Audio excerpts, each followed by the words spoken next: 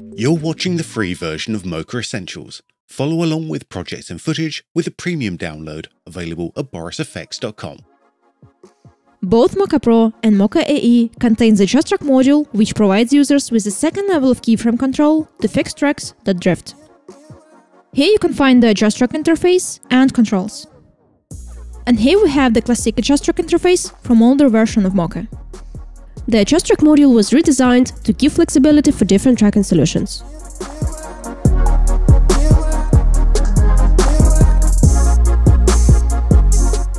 Before the deep dive, let's quickly go over the basics and remember how the tool works.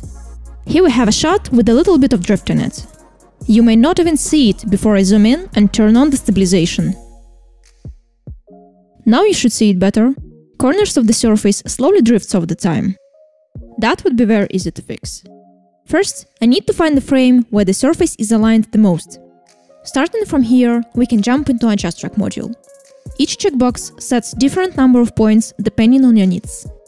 Only one reference point is needed to adjust the translation, two points to control scale and rotation, three to adjust the shear, and by choosing perspective, 4 points would be created, allowing you to make full corner pin style correction. You also can create as many additional reference points as you need. We'll be touching this in more details later in the video. You can hold Shift key to select multiple points and move them together, or click and hold right mouse button to move all available points. To perform the adjustment, we need to follow the basic principles of animation. You don't have to do adjustments every couple of frames. Mocha has already did the most of the job for us, we only need to fine-tune it. Scrub through the timeline forwards and backwards and find the frames where the surface is misaligned the most. This is the right moments where the points need to be adjusted. You can select the desired point by clicking on select button and the point would be highlighted. You also have the small zoom window top left to compare the current frame point position to the reference frame. To align the points, use nudge keys either the auto nudge or the arrow keys. Align all the points as needed, then scrub through and find another frame that requires correction. You also can move the points manually. Use whatever works best for you. By going through the timeline like this, you can get a good result really quickly. If you want to automate this process even more, you can try enabling auto step. The default value is 10, which means Mocha will auto-nudge all the points every 10 frames. To execute that, just click nudge forwards or backwards. That just literally took one second. Then repeat it backwards. And we're done. After you've finished, you can export track data to your host the same way as you normally would. Now we can turn something regular into something that is not. With knowing how to use the tool, you can fix most of the drifts in a fast and efficient way. However, since the Adjust Track Transform was first introduced, some users have been confused by the keyframing behavior that didn't work the same as Classic mode. For example, if one of your reference points goes out of frame or becomes obscured, you can run into issue depending on the keyframe state, meaning the reference point is off screen and is no longer useful to help align the track. Based on user requests, we've improved the workflow that makes the keyframing of reference points much more intentional. Here we have added a keyframe all points checkbox. This is a small yet powerful improvement, and understanding the workflow is key to mastering adjust track. The default behavior is on, so whenever you move a point, you add in a keyframe to all of the reference points. You can open a Dope Sheet and you'll see that keyframes for all of the points were created automatically but when the checkbox is off, keyframes would only be created for the points that you've adjusted. Let me show when it might be helpful on a more complex example. This shot is awesome for showing you new adjust track feature. It has a couple of challenges we have to deal with. Let's play it back and see what we have. The car is pretty well seen at the beginning, but the closer it gets to the camera, the more motion blur starts to affect our image. We also lose a huge part of the trackable area because the car is going out of screen. At one point, the motion is so dramatic that planar tracker would start to struggle. Step 1. The base track. I was able to track most of the range with the full perspective track, but around this area, when we started to lose our corners, I switched to translation scale and rotation, and at the very end, I just had to switch to translation only. And here's what we have. But don't worry, we would be able to fix this. Now it's time for adjust track. Step 2. Choosing the reference frame. In order to fix this track, first we need to find a good frame for setting up our reference points. I need to be able to see all of my four corners, and ideally there shouldn't be a lot of motion blur. Frame number 55 looks like a good start. I switch to adjust track tab and set up four reference points. Now I can scrub back to the beginning of the footage and adjust the drift without any problems, either by using the nudge keys or manually. Great. Then I scrub forwards, looking for the next spot that requires correction. And here's where we're starting to get a problem.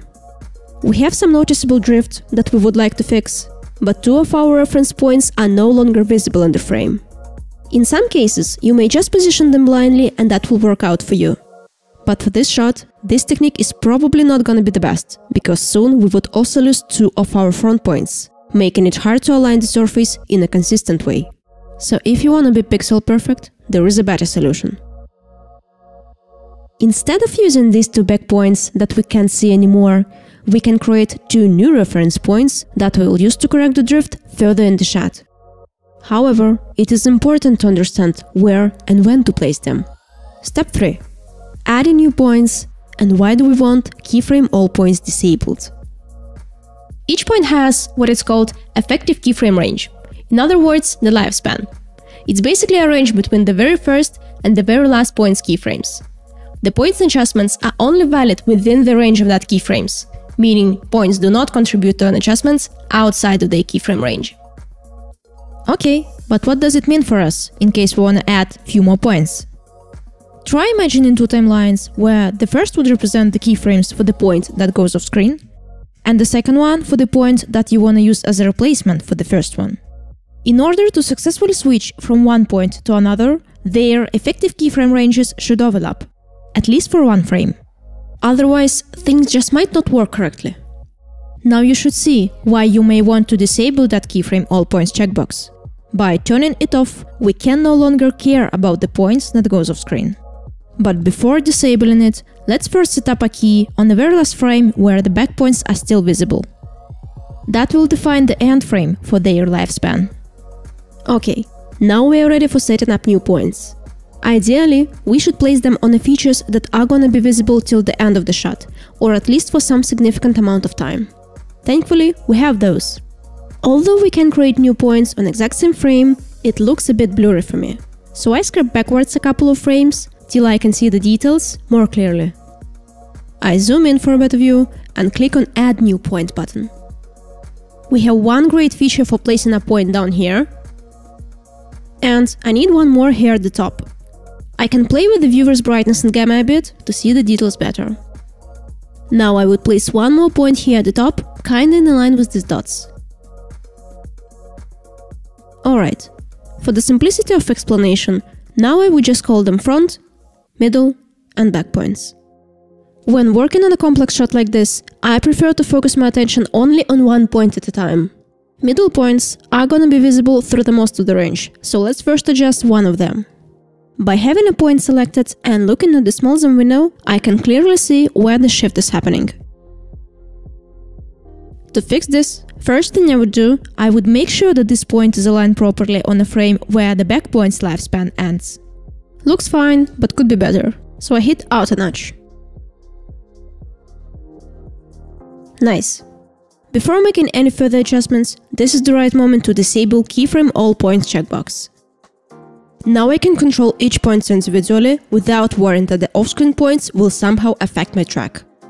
Step 4. Single point correction.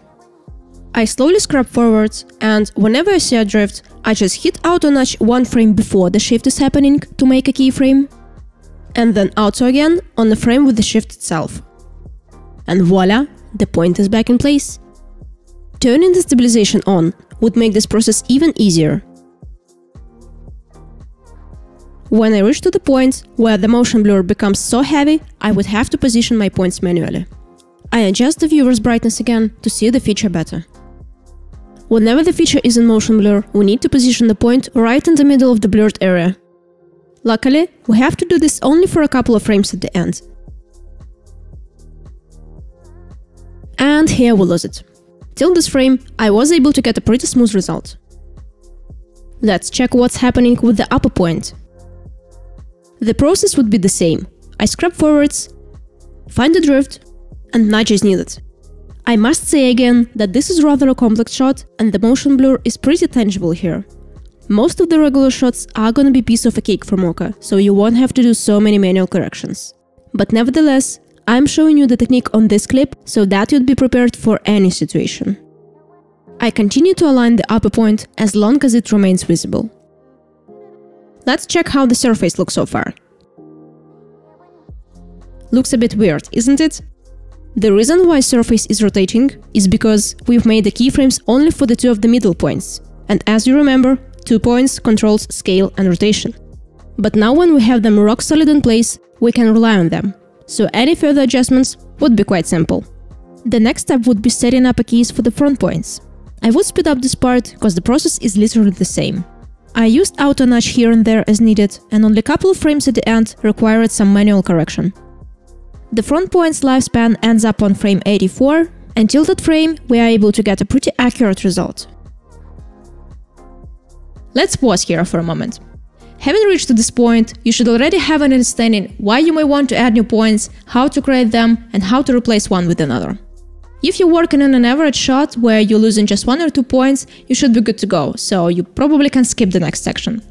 However, the particular shot I'm working on is a bit tricky, so if you want to see how I handled it, or if you're working on something similar, stick with me till the end. So what is the deal? We had a section where two of the four points obviously become unavailable, and we've already fixed that part by adding two more points and using them instead. But the trick is, the track is moving on, and the rear side become visible again, also bringing in the related points back on screen. This is where a mistake may happen. Step 5. The final adjustment. So we still have this rotation at the end. It may be very tempting now to just grab these two back points again and align the surface. And it may look like the job is done, but in reality, if I scrub backwards, look what happened. The surface is not aligned anymore. That's because by moving back points again, we've extended their lifespan, and that bringing in some interpolation that we didn't want it. And yeah, you may try realign it again, but that would be a waste of time, and I didn't want to do the same job twice. So what I did instead? Let me first undo the changes for the back points. Okay, I went back to the very last frame where I'm still satisfied how the surface looks. We basically have no clear features where we potentially could add more points.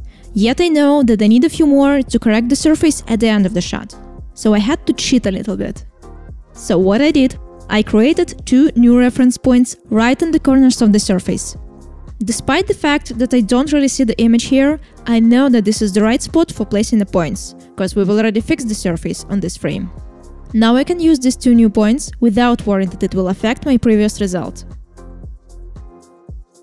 You see, it remains fine. I continue to use these new points as I normally would.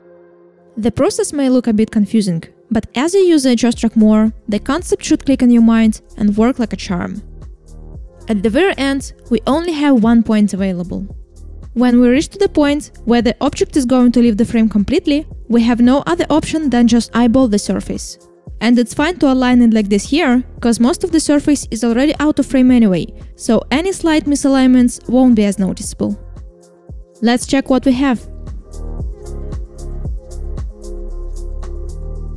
You can render the result through the insert with the motion blur to make it look even more natural.